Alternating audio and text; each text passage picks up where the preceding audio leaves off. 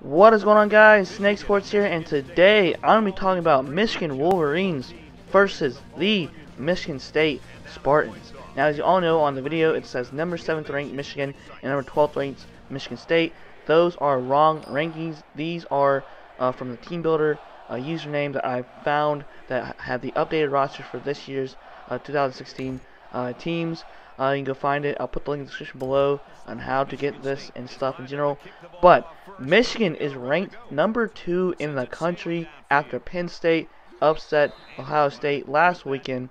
And as you all know, that I definitely will talk about what happened last year on the craziest play uh, from last year's college football that could, that ended the Michigan Wolverines college football hopes or playoffs hopes. Uh, but this year, Michigan looks like they are the real deal, even though they are in the Big Ten and they're going to play, have to play really well against Michigan State.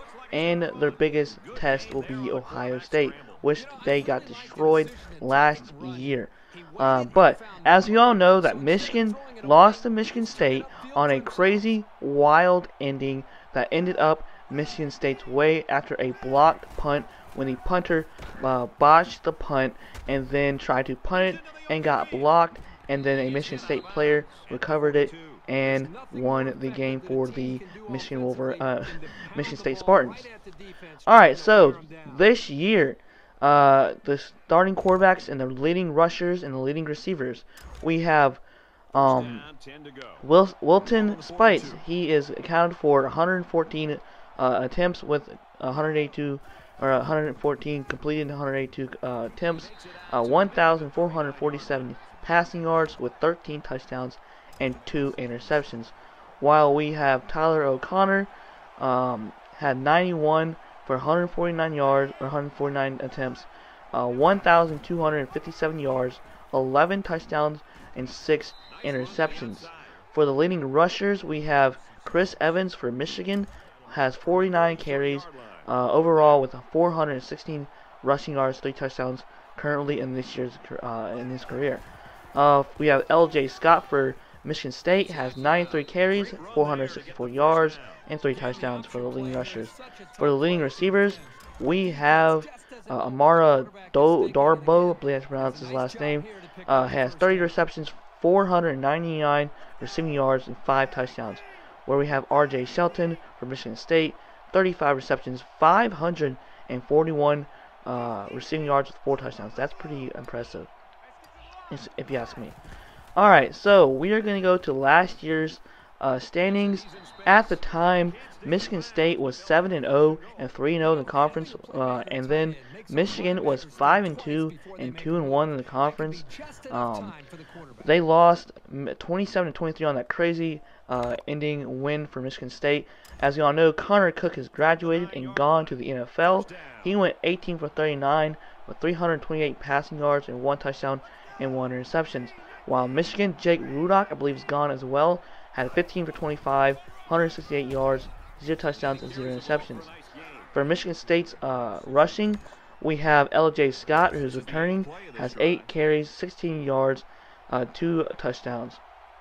We have Michigan, I believe De'Veon Smith graduated, uh, had 19 carries, 46 yards, 0 touchdowns, and then Simonia, or Homia, I don't know how to pronounce the last name, my bad, had 3 carries, 30, 30 yards, and 2 touchdowns. Michigan State's receiving, we have Aaron Burbridge, had 9 receptions, 132 yards, and 0 touchdowns. And Matt, Matt Garrett Kings Jr. had 3 receptions, 57 yards and one touchdown, and R.J. Shelton had four receptions, 58 yards and zero touchdowns. We have Jude Jehu Chesson for Michigan, four receptions, 58 yards, zero touchdowns. Amara Darboh, Darboh, I believe I'm pronounce his last name, three receptions, 52 yards, and zero touchdowns. We have Jabrill Peppers, who's a great player all around, has two receptions, 35 yards, and zero touchdowns. He has done really well with Michigan. He's playing punt return, wide receiver, middle linebacker, special teams, every single position in the game has done really great with Michigan. And I believe Michigan is going to hand it to Michigan State after last year's crazy upset loss that everyone thought Michigan was going to win and then they blew it. So I believe they have that on their back and they want to beat Michigan State really bad. Alright guys, that's this is Snake Sports here. Hope you enjoyed this video. Like, comment, subscribe. I believe that Michigan has the chance to beat Michigan State this year uh, after a crazy loss, like I said earlier. Um, like, comment, subscribe. Comment below what you guys think about this game. Who should win, and who do you want to win in this game? Do you think Michigan has it to take or, or to beat Michigan State, or does Michigan State have the uh, chance to upset uh, Michigan? Alright guys, like, comment, subscribe. Thanks for watching. Snake here. Have a great day, and peace.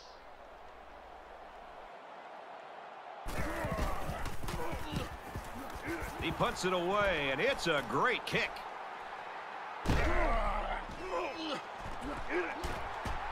He's to the 40, and they push him out around the 47-yard line.